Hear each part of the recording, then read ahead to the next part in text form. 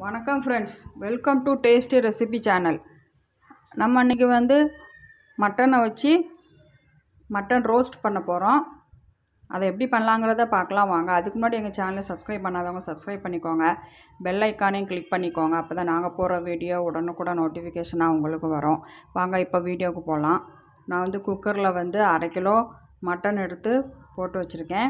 எலும்போட எலும்பு இருந்தாலும் பரவாயில்ல போட்டுக்கலாம். இதில் வந்து இப்போ ஒரு கப்பு இந்த கப்புக்கு ஒரு கப்பு தண்ணி ஊற்றிடலாம் ரெண்டு டீஸ்பூன் இஞ்சி பூண்டு பேஸ்ட்டு.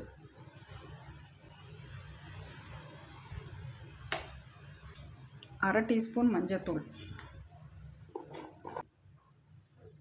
தேவையான அளவு உப்பு. இப்போ நம்ம நல்லா கிளறி விட்டுறலாம் இது வந்து ஆறு விசில் வச்சு நம்ம இறக் இறக்கணும்.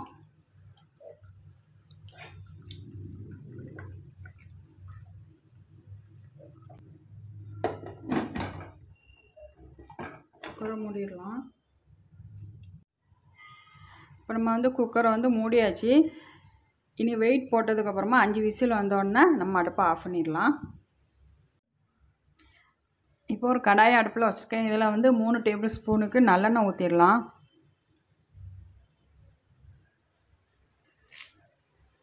கொஞ்சமாக கருவேப்பிலை போட்டுடலாம். ஒரு மூணு பச்சை மிளகா நீள நீளமாக நறுக்கி வச்சுருக்கேன் அதையும் போட்டுடலாம்.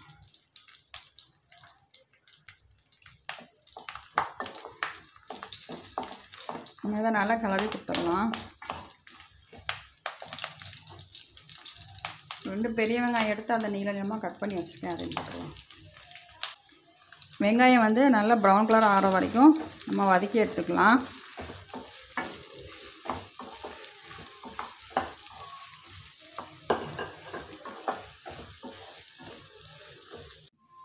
இப்போ வெங்காயம் வதங்கிட்டுருக்கு.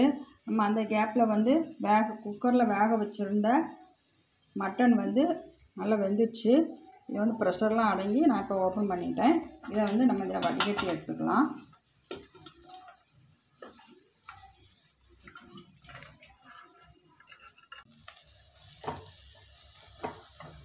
இப்போ வெங்காயம் ப்ரௌன் கலர் ஆயாச்சு. நம்ம வடிகட்டி வச்சுருந்த மட்டன் துண்டை அதில் போட்டுடலாம்.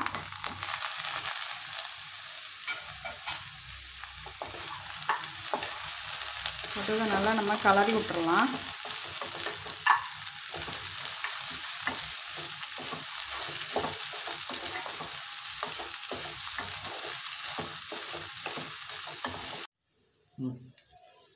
இப்போ மட்டன் நல்லா கலரி விட்டாச்சு. இதில் ஒரு டீஸ்பூனுக்கு மிளகாய்த்தூள் போட்டுடலாம் இது வந்து நம்ம இப்போ நல்லா கலரி விட்டுறலாம்.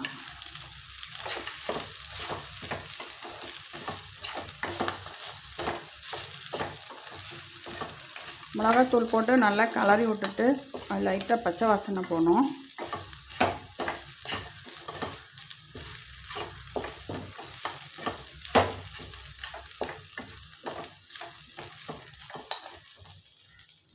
இப்போ இதில் வந்து நம்ம வடிகட்டி வச்சுருக்கிற தண்ணி எடுத்து ஊற்றிடலாம்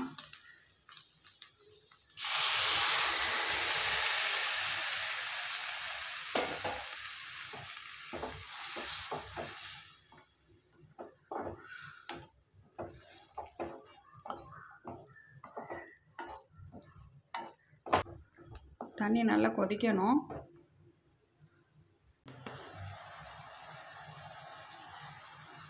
இப்போ மட்டனில் வந்து கொஞ்சம் தண்ணி வற்றிருக்கு இந்த ஸ்டேஜில் வந்து நம்ம ஒரு டேபிள் ஸ்பூன் தனியாத்தூள் போட்டுடலாம். ஒரு டீஸ்பூன் சோம்புத்தூள்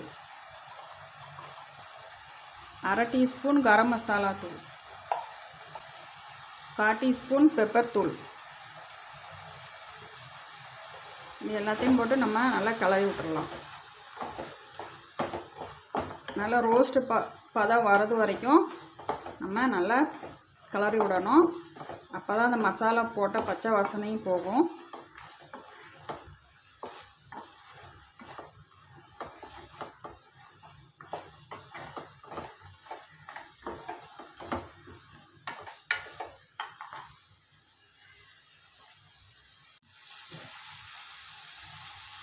இப்போ லேசாக உப்பு சேர்த்துக்கலாம். நம்ம ஏற்கனவே மட்டனில் உப்பு சேர்த்துருக்கோம்.